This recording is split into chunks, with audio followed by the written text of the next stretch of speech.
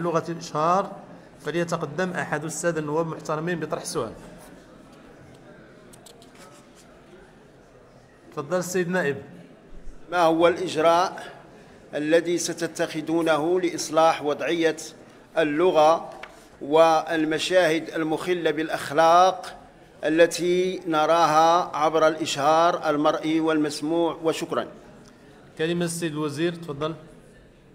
تفضل السيد الوزير بسم الله الرحمن الرحيم اولا من الناحيه القانونيه تم احداث لجنتين للاخلاقيات الاولى بالشركة الوطنيه للاذاعه والتلفزه والثانيه بشركه سوريا القناه الثانية وهي لجان معنيه بالسهر على احترام تطبيق مجموع المقتضيات المرتبطه بالاخلاقيات في دفاتر التحملات حتى يتم من جهه احترام استقلاليه الاعلام العمومي لكن من جهه أخرى توفير آلية لتطبيق ما جاء في قانون الاتصال السمعي البصري بخصوص الأخلاقيات والأخلاق والأدب العامة.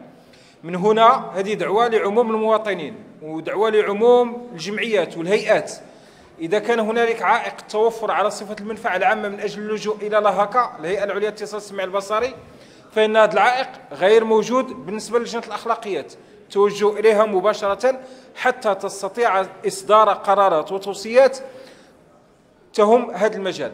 الخطوة الثانية التي اشتغلنا عليها وتهم مباشرة مراجعة قانون الاتصال السمعي البصري بخصوص صورة المرأة. والآن مشروع التعديل هو بين يدي اللجنة. هنالك مقتضيات أخرى اقترحت من أجل تعزيز التعديل حتى نستطيع أن ننسجم مع القيم الحضارية. لبلادنا. الأمر هو بين يدي اللجنة. النقطة الثالثة والتي أيضا تم الاشتغال عليها وهي تقوية اختصاصات الهيئة العليا للاتصال السمعي البصري عبر مراجعة تعقيب لأحد السادة النواب تفضل.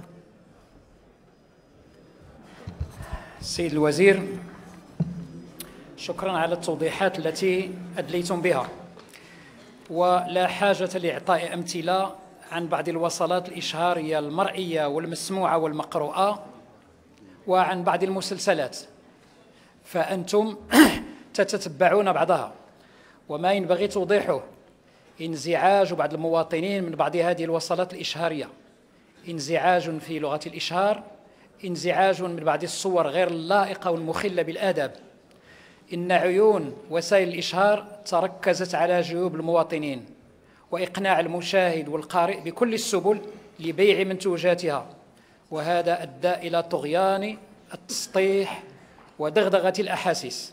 السيد الوزير الإشهار يجب أن يكون مؤطرا حتى لا يخرج عن مقومات وعادات المجتمع المغربي.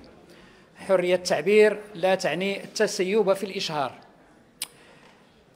سيد الوزير صخب غامر ذو ألف صوت يملأ جو الحياة بالكلمات المضخمة الجوفاء وفتنة مغرية للصور والأصوات تحول اللغة الخاصة بدنيا الفكر إلى دنيا الغرائز وتأثير غير محسوب يخدر الرأي العام سيد الوزير شكرا فذكر إنما أنت هل هناك من تعقيب إضافي؟